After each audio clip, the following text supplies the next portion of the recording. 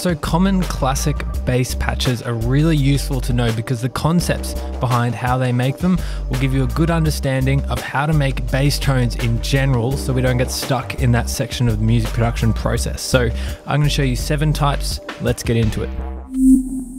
So the first one is probably the most useful, something that I use all the time, and just making a really solid bass tone with operator here. So the first thing I'm gonna do is head over to this panel over here. These these panels, when you click them, the uh, middle box changes, and just select this one, which is gonna make each of these operators output uh, separately.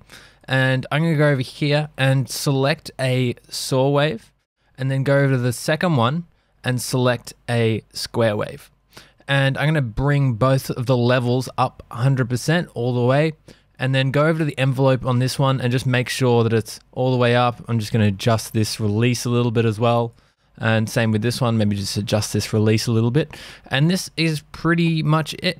So far, it's not going to sound amazing yet, uh, but where we've got the foundations of a really nice bass patch because we have some really nice top end harmonics as well as a really solid low end. So now all we need to do is go over to this filter. I'm just going to bring it down. And then go to this envelope and bring this envelope up. And that's just going to assign this envelope shape that we have here to this filter. Let's have a listen of this. So you can adjust this envelope And that's pretty much it. That is the bass tone. I use this all the time and it's really, really useful. It's just a really solid bass tone that has a nice low end and a nice bit of filter, crispy upper harmonics as well. So let's have a listen.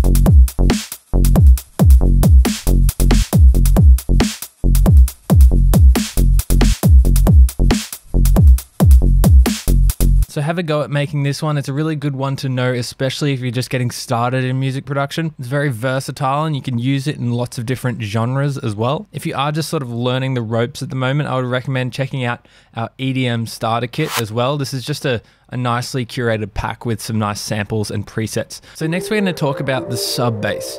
Uh, all the sub bass is, is like a sound that you've started with that has lots of harmonics and we're shaving away heaps of those harmonics so we just have that sort of real low end or a sound that doesn't have much harmonics like a sine wave and then we're adding harmonics to it. So we can turn something like this into a sub bass and all that would require is for me to just pull down this filter a little bit more and then I'm just going to reduce the amount of envelope that's on here as well.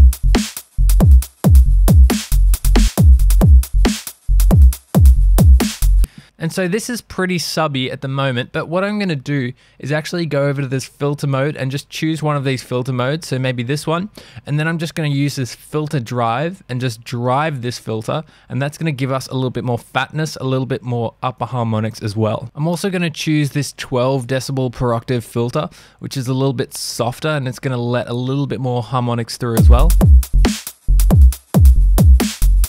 And I'm also going to turn this shaper on, maybe something soft. Let's have a look at this. Maybe I can turn that off. And what I'm going to do now is actually go get some erosion and I'm just going to use this to add some noise to the sample. So this is going to help with that translation of that low end frequencies as well. So maybe something like this. And then maybe uh, duplicate it and add another one. This is a nice trick that I like to do. Duplicate and add two different erosion devices. So now we have a really thick sub, which we used that original operator patch to make with. So I was also talking about how we can use a sine wave to create uh, some nice subs as well. And this is the opposite approach because we're adding harmonics to something that has no harmonics. So uh, I'm going to start off going into this oscillator section and I'm just going to hit this number 16 here and now we can just draw in harmonics in here. So I'm just going to draw in a few little bars here. Let's put this up an octave so you can hear it a little bit easier. So you can see that. Put it back down, maybe even something like this and you can hear that's just ever so slightly changing the sound. And then we're gonna be using, again, some filter drive, something like this, and just drive the filter.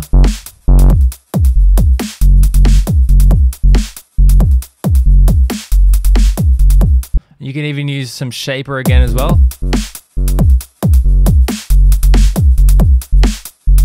And again, that same erosion trick, I'm just gonna add some noise to my bass patch over here. Let's have a listen now.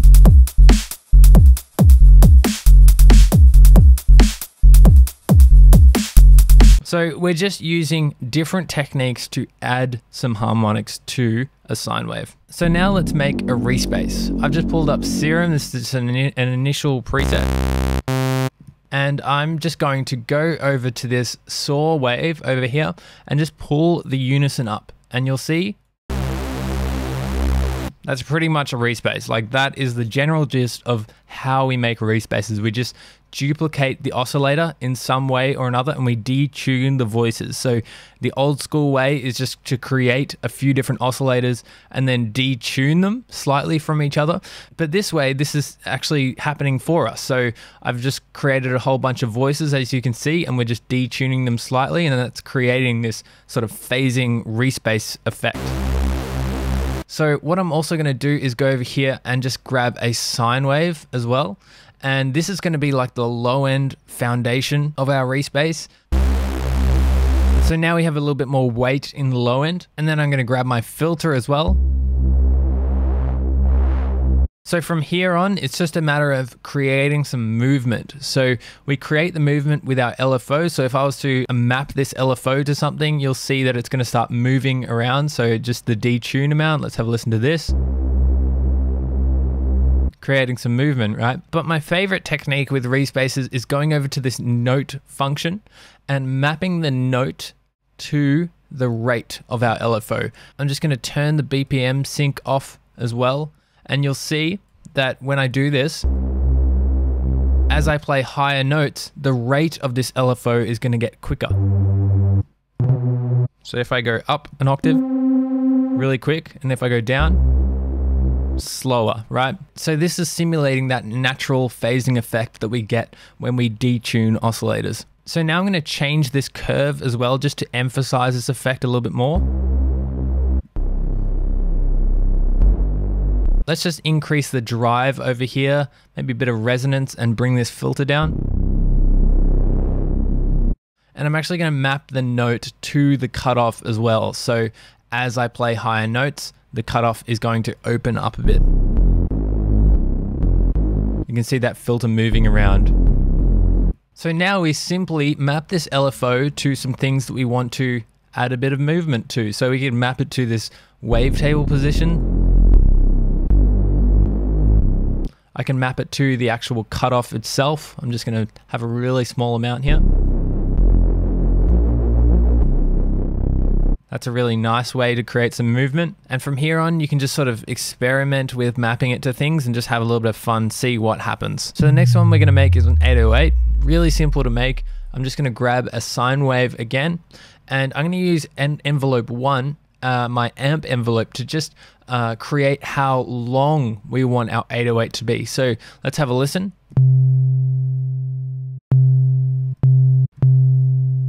I think that's kind of a nice length. I'm just going to increase the release as well. Right? And then I'm going to use envelope 2 and reduce this and make a really plucky envelope. And we're going to use this to map it to the coarse pitch. So I'm also just going to go over to the matrix and hit this type arrow and change it to uh, a unidirectional modulation. So it just goes up and then falls back down to the pitch of our note that we're playing. And the and the pitch modulation is creating that punch, right? So I'm going to go down in note. Let's just turn this up a little bit so you can hear it. And then from this point on, all we do is just add some distortion and that's about it add some distortion over here.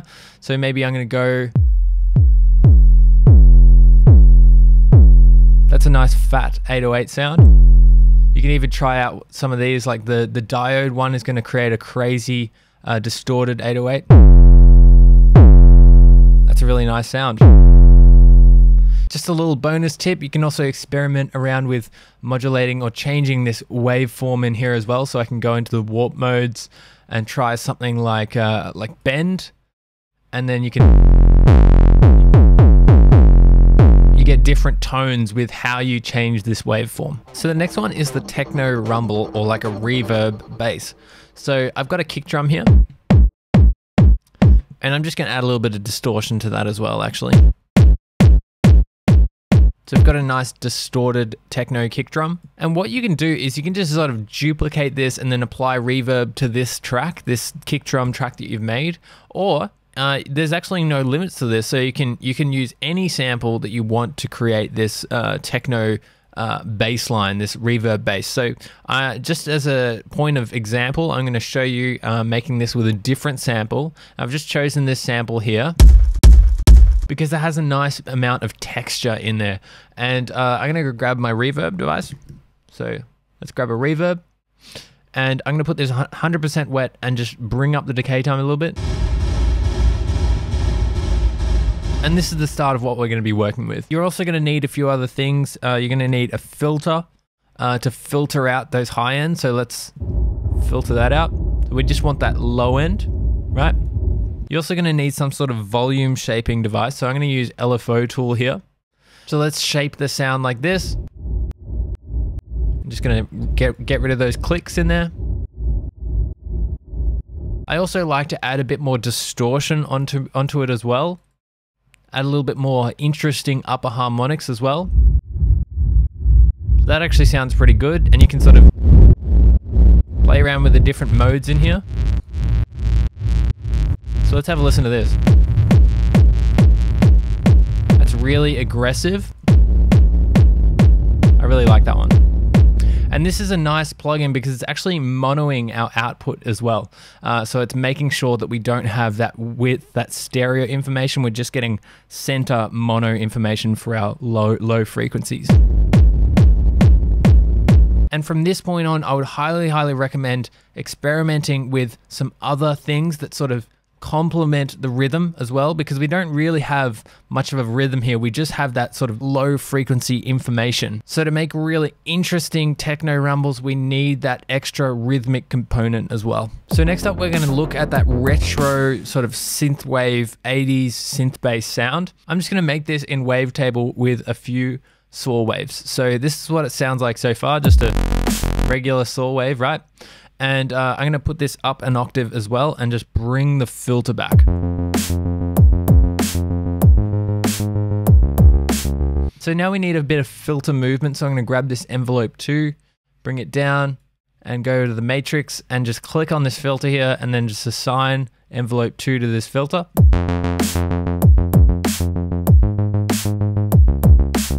And now we just need to add a sub oscillator. So you can use the sub oscillator over here, but what I'm going to do in this case is grab my second oscillator, put it onto a saw wave as well, and then just keep that on zero. And so this is going to be an octave higher than that one and have a listen to this.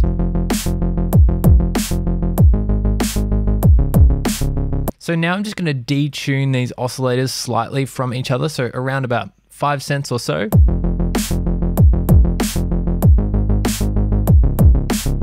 I'm also going to put this into mono mode over here and go over to the unison and just put some unison on there. So let's have a listen now.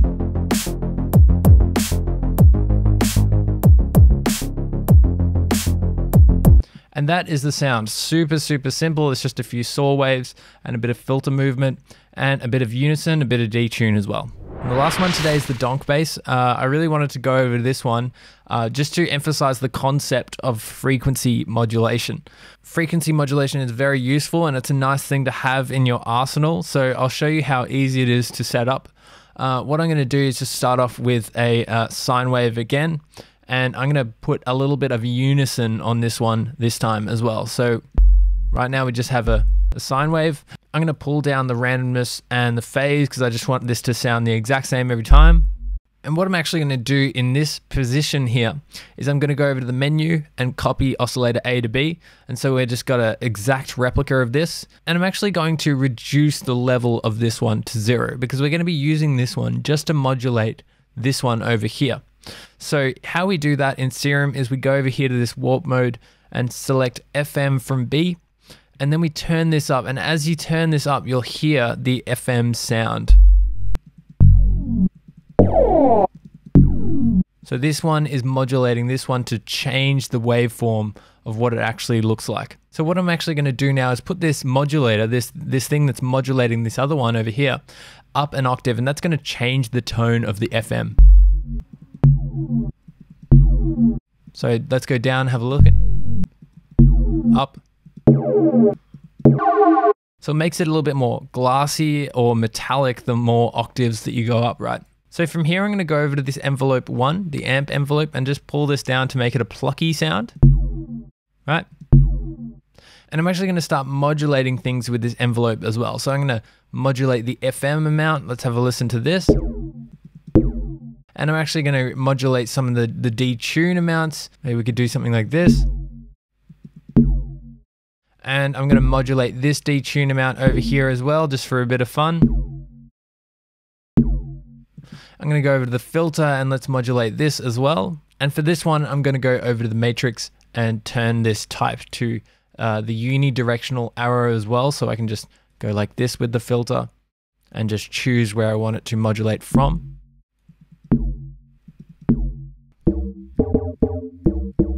We can add some effects over here. Maybe a bit of distortion, maybe even some compression to just emphasize that hit a little bit more. Uh, but this is pretty much it. I just wanted to introduce this one to you because it has some nice FM stuff going on and it's kind of easy to do as well. So it's a good one just to know and have in your arsenal so you can use this concept in whatever bass patch you want. So that's it for today. Hope you've learned a few things about bass design. It's surprising how simple all of these classic uh, common bass tones are. Bass tones are usually pretty simple. That's what you'll come to realize. And it's great because all of these techniques are applicable among all genres, sort of all bass design as well. Let me know which one of these patches is your favorite. I think my one is probably the first operator bass. It's just so simple and useful. If you've enjoyed the video, remember to like and subscribe to the channel. Otherwise, thanks for hanging out, stay safe, and I'll see you in the next one.